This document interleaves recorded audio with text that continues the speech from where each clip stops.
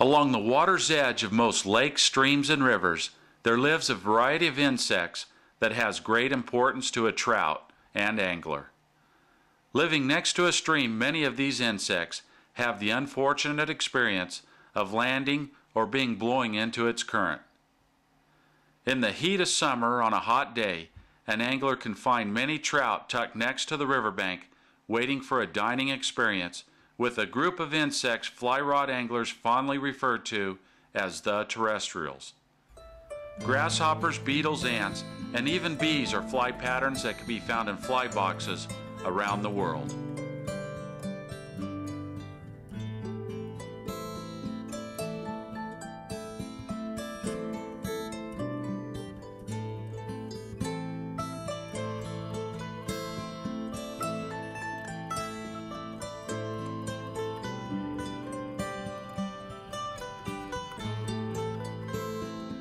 Some fly rod anglers look forward to casting a hopper pattern with the same vigor as casting a stonefly or a mayfly pattern.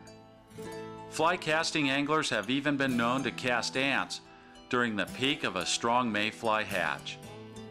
This is often referred to as anting the hatch.